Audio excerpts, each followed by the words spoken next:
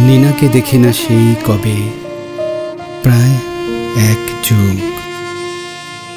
বৃদ্ধ হরিকেশ বাবুর লাঠি ঠক ঠক, বুকে খক গলায় কপ্টার গায়ে লান্ডির কোট।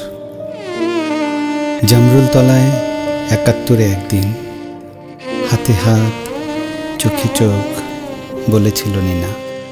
যুদ্ধে যাও, স্বাধীনতা পেলে আমার স্বাধীনতা পুরোটাই তোমাকে, শুধু তোমাকেই দেব। নয় মাস আমি বাদুর ছিলাম, কাঠঠোকরা পাখি ছিলাম, তীক্ষ্ণ নখের গল ছিলাম, স্বাধীনতা পেলাম। স্বাধীনতা পেলাম, স্বাধীনতা, এ কেমন স্বাধীনতা? আমার মুখোমুখি বসে থাকে ট্রাক, রুক্ষ ট্রাক। আমার মুখোমুখি বসে থাকে ভয় লাগা পোশাক। আমার মুখোমুখি কেবলই বসে থাকে বসে থাকে বসেই থাকে।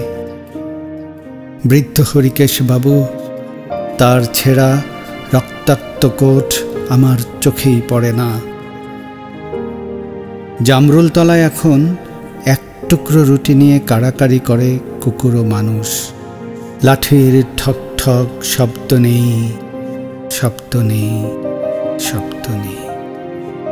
এখন আমি কোথায় যাব? কোন দিকে যাব? কার কাছে যাব? কে সাক্ষী দেবে? কে আর শুনেছিল কথা হরিকেশ বাবু?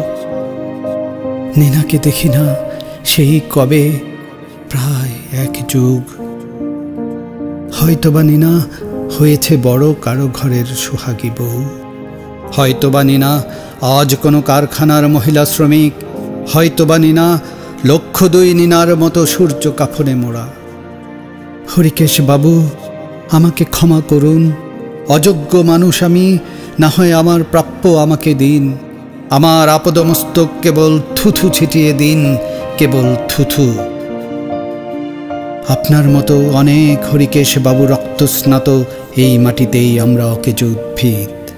নপুংসক ক্লিব ভীতু। পারি না পারি না, কিচ্ছু পারি না। জানেন হরিকেশ বাবু, আমার বুকের ভেতর অনেক কষ্টের কান্না আছে। কান্না তো অন্ধ ভিখারির। পথ দিয়ে হেঁটে যাবার সময় গুণের একটি কবিতা মুখোমুখি দাঁড়িয়ে বলল, বুকের ভেতরেই তো আছে হৃদয় নামক মারাত্মক আগ্নেয়াস্ত্র। আমি থমকে দাঁড়ালাম। আমি তো সশস্ত্র নিনা, পুরোপুরি স্বাধীনতা পেলেই হাজার নিনার মাঝে তোকে খোঁজ করে নেব। নিনাকে দেখি না সেই কবে। প্রায় এক যুগ